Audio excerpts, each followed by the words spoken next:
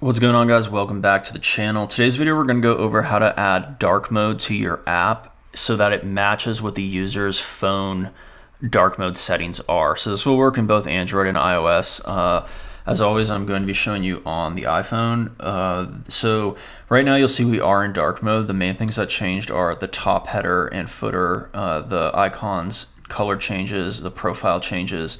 Um, you also notice this custom widget right here, the text changed in it. Uh, now if we switch over to light mode, which we can do right here, and go back into our app, you'll notice it loads right back into that light mode and the custom widgets text changes as well. Uh, having this custom widget here, the text change is actually not as simple as, as basically having the rest of the app change. Um, and that's kind of what this video is going to cover. I will say right up front, what this will not cover is allowing you to change the app from dark mode to light mode within the app itself. It is always going to be based on the settings of the user's phone. So let's get started. All right, so we're gonna start by opening up main.dart and in here, you'll see we already do have our theme set. So right now we have our primary swatch as just being blue and the theme has uh, nothing other than just a font set as well. So this theme is going to be the light theme by default. So the next thing we could do is actually add a dark theme here. So to add that dark theme, we would just call dark theme and then we're going to just give it theme data very similar to how we're giving the light theme. So just like that. The main difference here that we want in these two themes is obviously uh, the light theme we want to be light and to do that we actually have to set the brightness level. So we can call the brightness parameter on this, and then we can set it to be the light brightness. And then similarly on the dark theme, we can do the, the brightness being the dark. So that at its simplest is actually going to work for us. Um, you'll notice when I refresh the app, this actually turned to dark mode. Now the reason for that is because I had previously already set this to dark mode. Uh, if you if you go to the home on the simulator, and this should work on either on either Android or iOS. If you go to the developer, this is how you do it on iOS. You go to developer, you can choose dark appearance right here. So if I choose that back, now we're in light mode, and you'll see if we go back into the app right now, that's actually not the app. This is the development one we're working on. You'll see it is light mode right now. Um, and now if we were to go back and change this to dark mode, you'll see that it is updated to dark mode. So it's really just that simple to get the basics of light mode and dark mode working. Now there are a few things we are going to want to update. The first thing you might notice is this text here is not actually set to a dark mode version, um, as well as really all the colors on the app. So this is looking good. These buttons look okay. Um, the, but if you want actual custom colors and custom widgets to be working in dark mode, for instance, this one right here, we're going to need to set those colors a little bit differently. So you'll notice uh, if you find where this color is being set, and I'm just going to use this widget as an example, but throughout the whole app, all these things will need to be updated anytime you're using like text colors uh, explicitly. If you go and find where that is in the view, and this is going to be in the uh, home view, uh, we can find where this is being called. And you'll see right here, these containers are using explicit colors here. So that is like the background color there. Uh, right here where it says create your first trip, we can see we're using colors dot white here. So that's why that is not changing. I'm going to show you how to use colors, how to set color variables for the whole app and then use them with provider throughout the app. So this is actually relatively simple as well. If you go to, we're going to create a new file and we're going to do this under our services. So just do a new Dart file here and we'll call this custom colors. So with the custom colors, we're going to first import material and then we're going to create this as its own class. So with this new class, we're actually going to create a constructor for it that takes one parameter being that brightness. So it's going to be of type brightness and we'll just call it brightness. And this brightness is either going to be the dark or light version that the app is. Uh, we actually need to define brightness up here as well. Um, but this brightness is going to be uh, either dark or light. So we can use this brightness to actually uh, decide what to set our, our color variables. So we can do that with just a simple if statement. We can say if the brightness uh, is equal to brightness dot dark, then we're going to set our variables equal to some value in there. Uh, if not, that means we're going to assume that it, it is the light mode and set them the, val the values in there. So we're going to do, for right now, we're going to do just uh, two colors. So let's to let's set color here and we'll do text one and we'll do the primary color here. That's probably fine for now. Then we can just set these equal to a certain value. So text one, when when we are in dark mode, we want that text one to be uh, a dark color. So we're going to use this color right here, which is actually basically black. You can see the color pops up right there.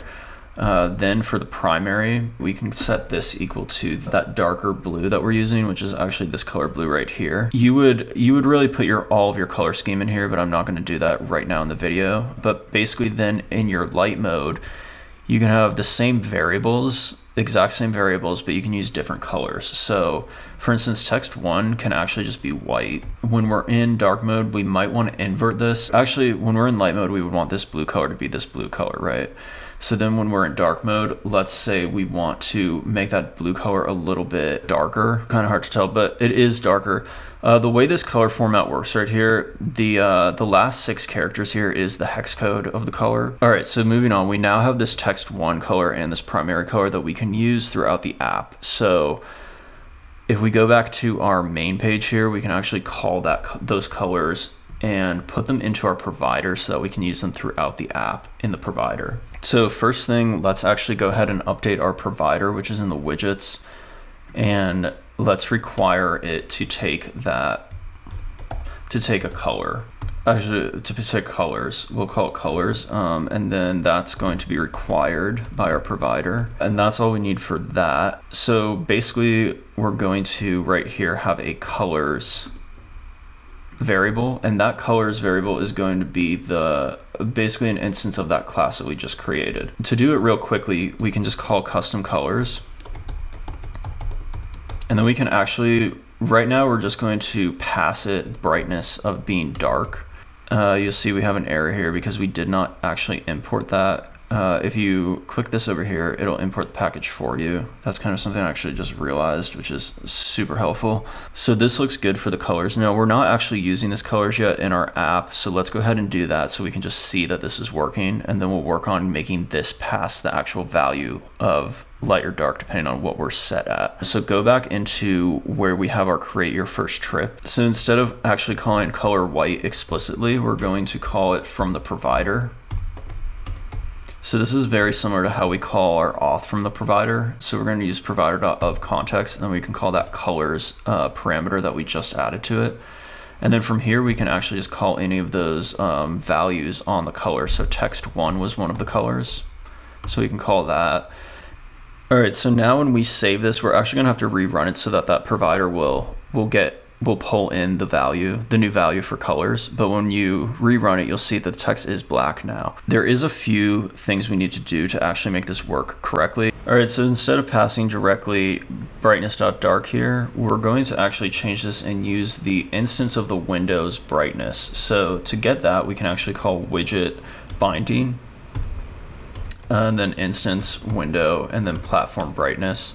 Uh, and then if we rerun this, you'll see uh, this is working. And if we are to change this to actual light mode now, uh, and then if we go back into our app, uh, you'll notice that the app changed to light mode, but our text did not change to light mode. Now, if we rerun the app, it will change to light mode for the text but this is not exactly what we want. I mean, it's okay functionality, but uh, really we want these custom colors. We want this custom colors to change when the brightness of the system's darkness brightness value changes. So it's actually a relatively simple thing. We can do that with the, uh, we can use a binding observer to basically set this color value here. And then we can listen for when the, the screen's brightness darkness changes. And then or really it's when the platform brightness color changes and when it does change then we can update the colors variable here to pass it that that value. And then since we're doing this in the provider, it'll actually just update only when that's changed. Basically what we need to do is first convert this into a stateful widget. So in the app state itself, we're going to actually also add a width here and then add the widget, uh, the widget binding observer. And this observer is what's going to let us listen for the state change of of the of the phone's actual dark mode or light mode. Um, so firstly, we can add the init state for this binding observer, and this is a this is kind of boilerplate here, so I'm just going to paste it. Uh, basically, it's just this just starts the listener, and it will dispose of it when it, when we're done with this uh, with this widget. Uh, the other thing we're going to want, and this is the main one, is we're going to we're going to add that did change platform brightness. All right, so there's that. So this is actually going to trigger whenever we, whenever, you know, the, whenever we change that dark mode, light mode on the actual phone itself. So here's where we want to set the state of this colors, this colors variable right here. So we're going to extract this out and we're going to set it to a variable called colors or whatever we, whatever name you want to give it. Now, very at the very top of this state here, let's go ahead and just define that variable colors. Um, and again, that will just be the same thing. When we first set it, it is going to be whatever the brightness is. And then when we're when we get when we trigger this down here, which just means that the phone's brightness was changed, we're going to set the state of that to equal, uh, essentially we're just going to redefine this variable. Um, so we want it to equal the same thing, but we just need to reset it because this platform brightness will have changed to something different.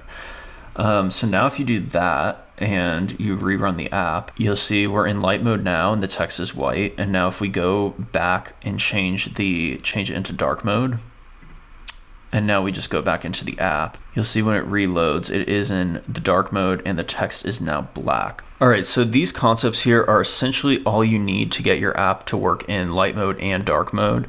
The main the main thing here is you're going to want to use any color you use within your app, you're going to want to set it as a variable in here. And then just like we did with that text, uh, that text color here, use your provider of that text color. And then throughout your whole app, whenever you change it from light mode to dark mode, you'll be able to use this value here.